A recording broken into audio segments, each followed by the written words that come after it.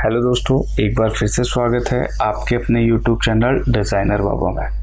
तो आज अपन इस ट्यूटोरियल को आगे कंटिन्यू करते हुए, इस प्लेलिस्ट में अपन ने पहले भी बना रखा है, इस प्लान को कैसे बनाना है क्या क्या कमांड्स अपन ने यूज़ करनी है, पूरा इस प्लेलिस्ट में आप देख सकते हैं स्टार्टिंग से। तो आज अपन इसमें फर्नीचर प्लेसमेंट करेंगे। तो फर्नीचर प्लेसमेंट करने के लिए कुछ ब्लॉग्स जो है ऑटोकैड ने खुद भी दे रखे हैं। उसके लिए आप जो शॉर्ट की यूज़ कर सकते हैं, वो डी सी एंटर कर सकते हैं या फिर आप कर सकते हैं कंट्रोल प्लस टू तो मैं यहाँ पे डी सी एंटर करता हूँ। डी सी एंटर करने के बाद में ये आपके डिज़ाइन सेंटर पे चला जाएगा। और इसका जो पाथ होता है, वो पाथ ये होता है जो आप लोगों को यहाँ पे दिख रहा है सी प्रोग्राम फाइल्स ऑटोडेक्स और ये सारी चीज़ें। तो जो भी आप वर्जन यूज़ कर रहे होंगे, उस वर्जन के हिसाब से आप ये ले लें। आप यहाँ पे जाएँ।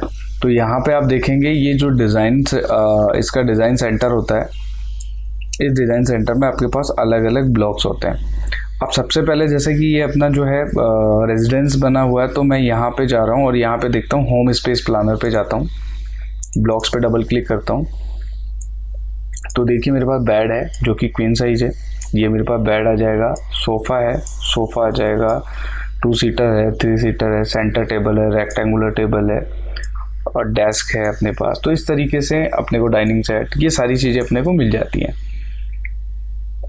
होम स्पेस प्लानर की जगह मैं हाउस डिज़ाइनर में अगर जाऊँ और ब्लॉक्स को यहाँ से ओपन करूँ डबल क्लिक करके टॉयलेट टॉप आ गया ओवल शिंक आ गया बाट टब आ जाता है आपके। इस तरीके से बहुत सारी चीज़ें हैं जो कि आप यूज़ कर सकते हैं। लैंडस्केप है लैंडस्केप में मैं ब्लॉक्स लेता हूँ, जैसे कार सेडान का साइड व्यू आ गया। तो इस तरीके से आपके पास बहुत सारे ऑप्शंस होते हैं। अब अपने को इसको प्लेस करना है तो आप नॉर्मल वही मूव कमांड आप यूज़ कर सकते हैं। अगर इन कमांड्स में कोई दिक्कत है तो आप स्टार्टिंग में जाके इस प्लेलिस्ट में स्टार्ट में देख सकते हैं। मैंने बिल्कुल बेसिक से स्टार्ट कराया अब जैसे मेरे को यहाँ पे लगाना है, अगर मेरे को उसको रोटेट करना, मैं चाह रहा हूँ इस वॉल पे ये लगे तो मेरे को उसको रोटेट करना पड़ेगा। वही रोटेट के लिए मैंने रोटेट की कमांड आर ओ एंटर ली है, और ऑर्थो ऑन कर दिया मैंने यहाँ से। सिलेक्ट करूँगा, इसके सेंटर पार्ट को उठाऊँगा और इसके सेंटर पार्ट पर मैं यहाँ पे रख देता हूँ उसको। इस तरीके से मैंने ये लगा दिया। यहाँ से मेरे को कॉपी करना है। ये मैंने कॉपी किया। मैं इसको रोटेट भी कर लेता हूँ। ये मैंने इसको रोटेट किया। मैं इसको मूव करता हूँ और यहाँ से मैंने इसको मूव किया और यहाँ पे मैं इसको प्लेस कर देता हूँ।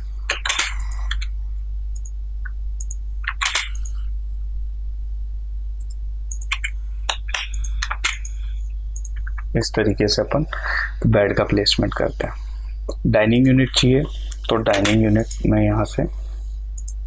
ये बहुत स्टैंडर्ड साइज़ के आपको मिलेंगे।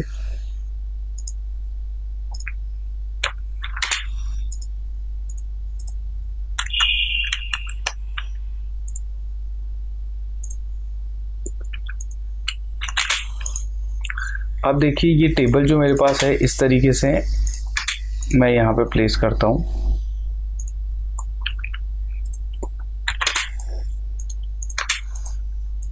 ये एक मेरा स्टैंडर्ड साइज़ हो गया कि स्टैंडर्ड साइज़ का डाइनिंग टेबल मैंने यहाँ पे लगाया है।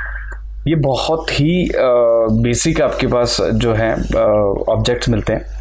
कुछ मॉडल्स मेरे पास यहाँ पे डाउनलोडेड है, जिनको अगर मैं यहाँ पे देखूँ तो कलर में है वो। इसकी जगह, इस बेड की जगह अगर मैं ये वाला बेड लेता हूँ, इसको मैं डिलीट कर देता हूँ। जिसके साथ साइड टेबल्स भी है। इसके सेंटर पार्ट से उठाता हूँ और इसके सेंटर पार्ट पर मैं इसको रख देता हूँ।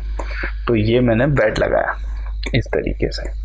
अब इस तरीके के मॉडल्स आपको कहाँ से डाउनलोड करने हैं और कैसे डाउनलोड करने हैं तो उसके लिए अपने को सिंपल सा है, अपने को अपने क्रोम ब्राउज़र पे जाना है।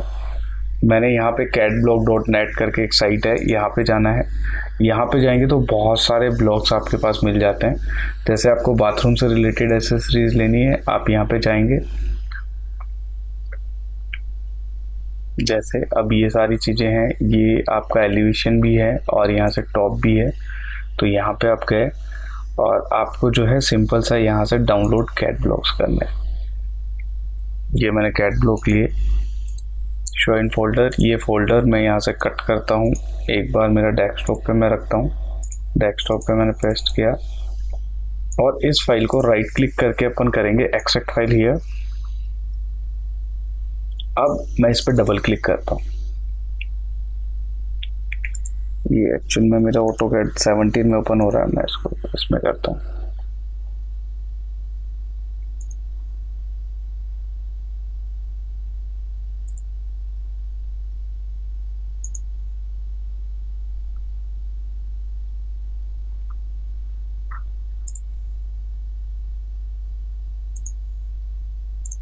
इसको मैं ओपन करता हूँ ओपन विथ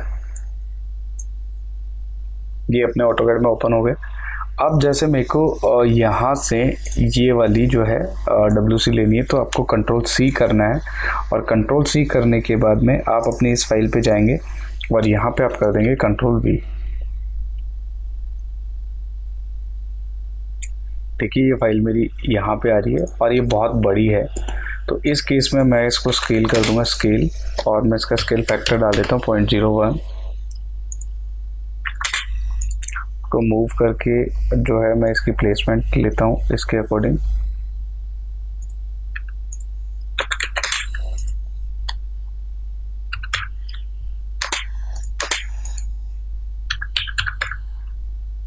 तो इस तरीके से मैं इसको स्केल करके प्लेस कर सकता हूँ। स्केल देख के, जो भी आपकी डायमेंशन है, उसके अकॉर्डिंग आप इसको चेक कर सकते हैं।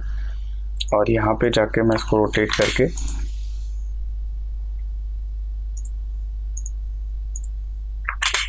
इसको जो, जहाँ भी प्लेस करना है, आप इसको प्लेस कर दें।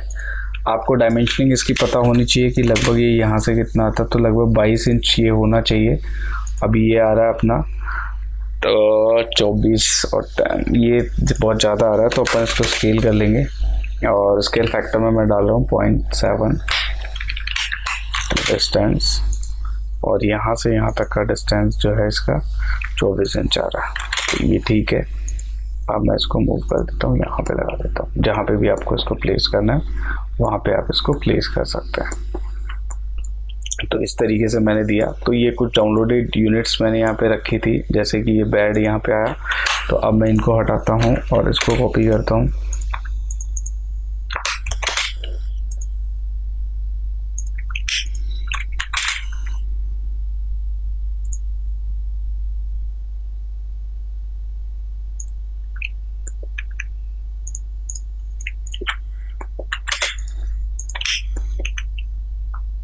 इस डाइनिंग टेबल की जगह मैं ये वाला डाइनिंग टेबल लगाऊँगा।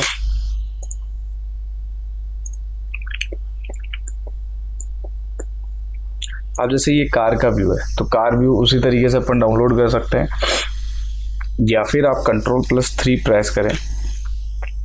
यहाँ पे आप जाएँगे तो आप, मैं जाता हूँ आर्किटेक्चर में तो यहाँ पे आ रहा है व्हीकल इंपीरियल व्यू तो इसमें आपके पास क्या होता है, यहाँ पे इसको जैसे आप सेलेक्ट करेंगे ड्रॉप डाउन बटन आएगा इस पर जाएँगे तो आपको जो भी व्यू लेना है टॉप व्यू लेना है फ्रंट व्यू लेना है बैक व्यू लेना है, वो सारे व्यूज़ आपको मिल जाएँगे। ट्रक टॉप लेना है ट्रक बैक लेना है तो ये रियर व्यू मिल जाएगा आपको। तो मैं स्पोर्ट्स कार का टॉप ले लेता हूँ और इसको रोटेट कर देता हूँ।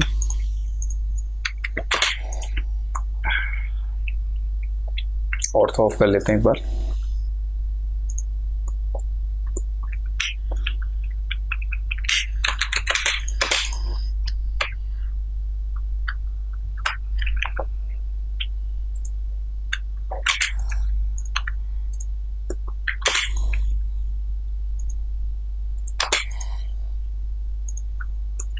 तो इस तरीके से जो है अपन ये प्लेसमेंट कर देंगे इसमें।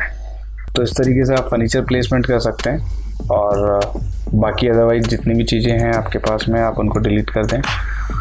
उम्मीद है आपको ये वीडियो पसंद आया होगा। अगर पसंद आए तो लाइक ज़रूर करें। नेक्स्ट वीडियो में जो है अपन देखेंगे कि एलिवेशन कैसे बनाना है टू एलिवेशन कैसे बनाना है, वो अपन देखेंगे इसके नेक्स्ट वीडियो में। Thank you